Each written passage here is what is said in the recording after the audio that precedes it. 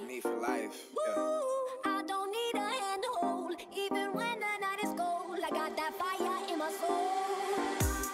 And as far as I can see, I just need privacy. Plus a whole lot of tree, fuck all this modesty. I just need space to do me, get away what they're trying to see. Estella Maxwell right beside of me. Hello guys! So ngayon ay naisipan ko ulit gumawa ng basic Spanish lesson na nasa part part 13 na tayo guys. Sa lahat ng mga sumusubaybay dito sa basic Spanish lesson ko. So ito na guys, ito na ulit yung part 13. So let's start. Guys, and dito na ako. So simulan na natin yung pagtuturo ko sa basic Spanish lesson part 13. So mag-start tayo sa Donde está el libro? Donde está el libro? So, sa English naman ay Where is the book? Next is Copien ustedes estas oraciones. So, napapansin nyo guys, yung ustedes is abbreviation lang siya guys. Yung UDS. So, abbreviation siya ng ustedes. Yung mga tinuro ko sa inyo dati, yung ustedes is paggalang. So, um, ginagamit lang to pag um, kumausap ka ng isang tao tapos lalagyan mo siya talaga ng paggalang. Um, mas maganda talaga kung gamitin mo siya sa matanda o kahit sino, pang respeto lang, di ba? So, yun nga. Copien ustedes estas oraciones. Copy these sentences. Ayun. Copy these sentences. Next is, preparen ustedes esta lección. So, guys, yung leksyon, leksyon. 'Di ba pag si lumalabas talaga yung dila. Gali, gas, gaya nga ng sinabi ko sa inyo dati, 'di ba? So ayun nga, preparen ustedes esta lección. So sa English, prepare this lesson. Ayun. Guys, kung wala kayong maintindihan o kung hindi nyo talaga naintindihan yung sinasabi ko dito, pwede kayo magtanong below, comment sa comment box, pwede kayo magtanong guys. So next, el libro está aquí. So sa English, here is the book. El libro, el libro está aquí. Yung libro ay nandito na o sa English, there, um, here is the book. Next is, guys, tumitingin talaga ako sa baba kasi nandito mga kopya ko.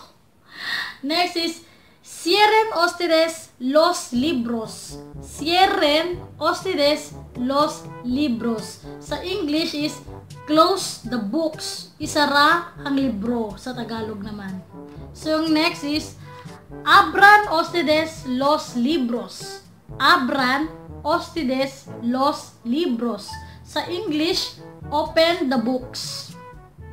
So, next is, presten ustedes atención. Presten ustedes atención. So, sa English, kung nakikita nyo dito is pay attention. Pay attention. Next is donde um, de donde es usted? De donde es usted? So, where are you from? So, yung isa naman, yung sasagot dito is Yo soy de Filipinas. O kaya, I am from Philippines. Next is, de letre ustedes bien. De letre ustedes bien. So, sa English is, spell well.